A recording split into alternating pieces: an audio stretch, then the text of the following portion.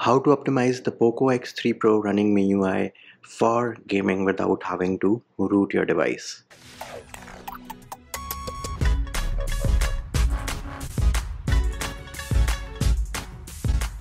Hey peeps, what's up? Munchy here, back with another video and in this video I'm going to show you how you can optimize your POCO X3 Pro running MIUI for gaming without having to root your device. Now for full disclosure I do have the international variant of the POCO X3 Pro but the tips and tricks which I show you in this video will work on any variant of the POCO X3 Pro which does include the Indian variant. Another thing I do make custom ROM videos so my device right now is bootloader unlocked and I also have Magisk installed but I do not have any Magisk module or anything like that installed for gaming. Next up, all the relevant links, all the applications, whatever we are using in this video are linked in the description of the video and I do highly recommend that you read the pinned comment as well first thing you need to do is you need to remove the bloatware which can be removed. So sometimes out of the box you get applications like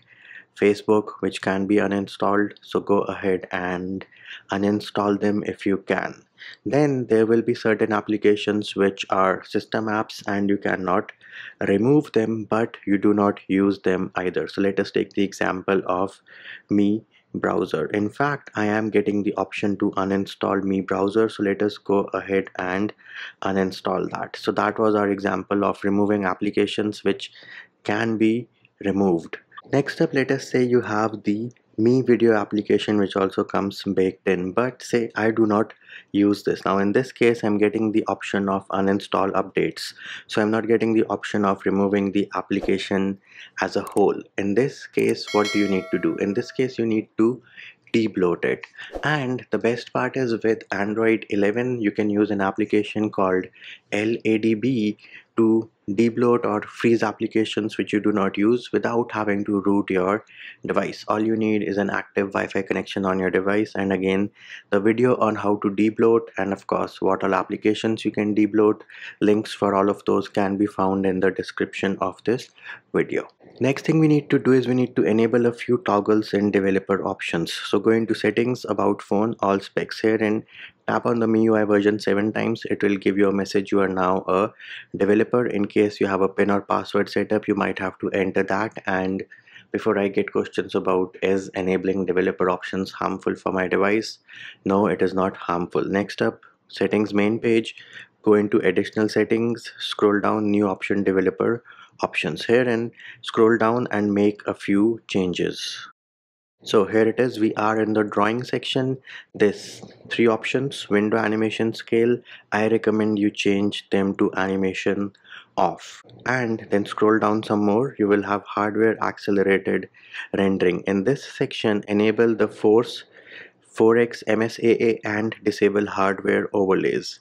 All of these settings need to be done. And something which might be super irritating but needs to be done is every time you reboot your device these settings will go back to what they were. So you have to change or enable the toggles and disable the animation scale every time you reboot your device. Developer options will still remain enabled. So I don't know whether the flags getting reset is a Xiaomi issue or a Google issue but it is what it is Next thing before every gaming session go into security. Herein you will find something called cleaner. This is going to clean our device and it gives you the options which can be performed. Now in my case I already executed the cache clean but if you have something in the cache this option will be checked. So make sure you clean the cache packages. I just uncheck it because these are some APKs which I use regularly. In case you have APKs which you do not use already installed them. Feel free to remove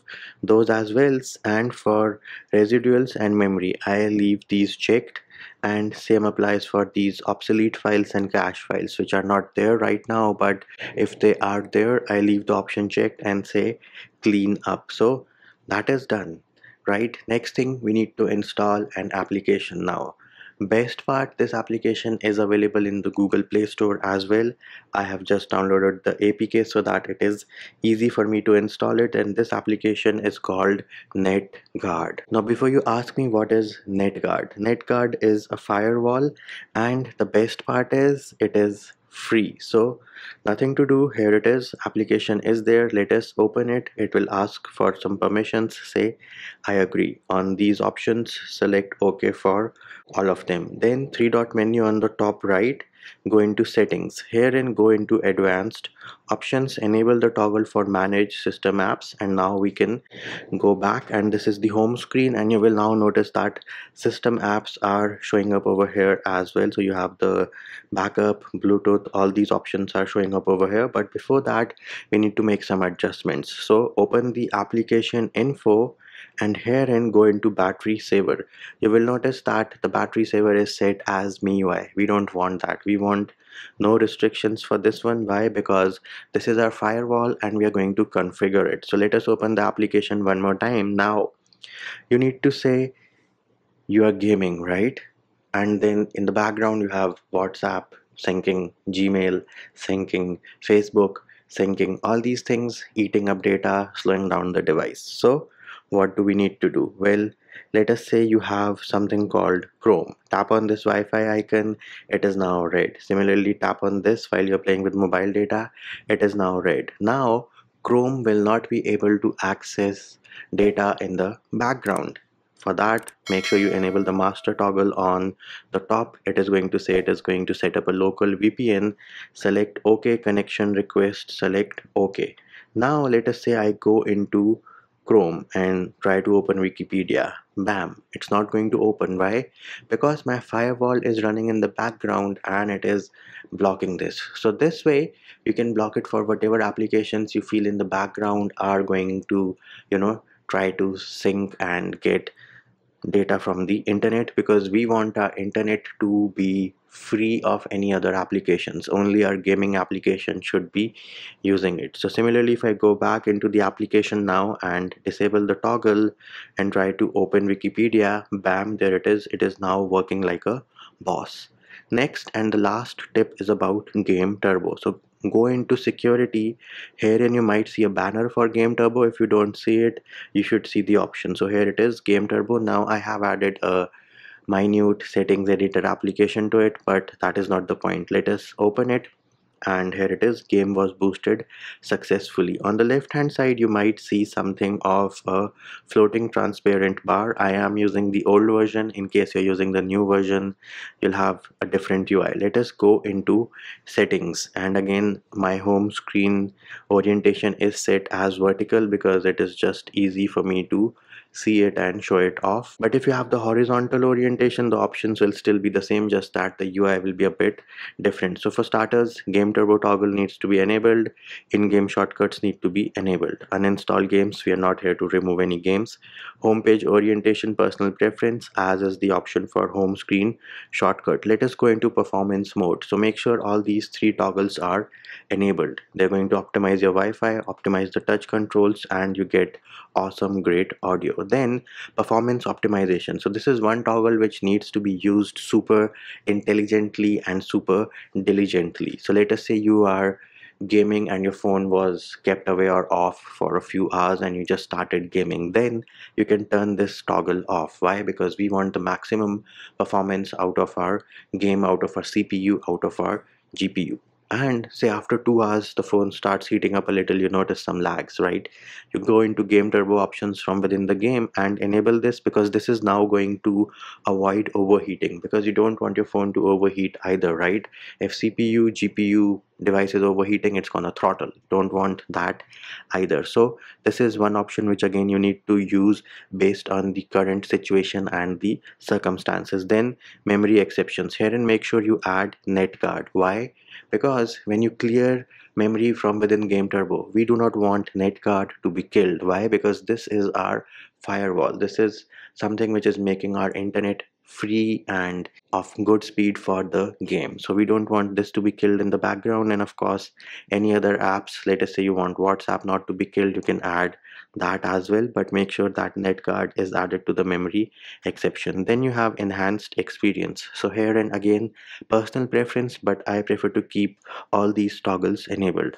I don't want the brightness to go low while I am gaming turn off reading mode yep do not want reading mode to be enabled either. Similarly for your gestures about screenshot and notification shade again these are super useful for those of you who are playing with the claw setup right? Three finger screenshot not gonna get activated.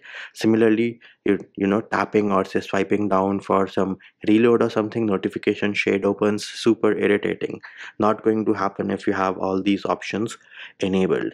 Next thing of course restrict the buttons and gestures as well. So you know when you swipe up you do not say accidentally go to your home screen in the middle of fighting a close battle. Then you have additional settings. So additional settings is something wherein you can customize on a per game basis and this is like super impressive. Let us say i go into this game right?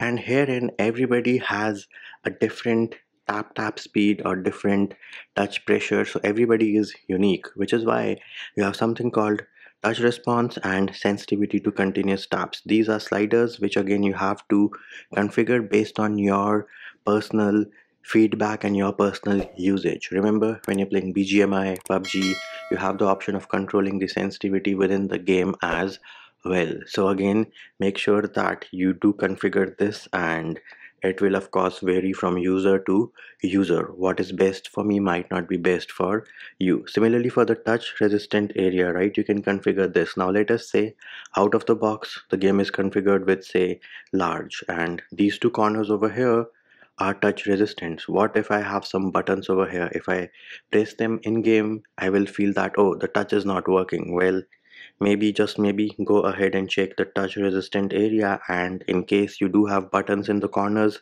set it as none.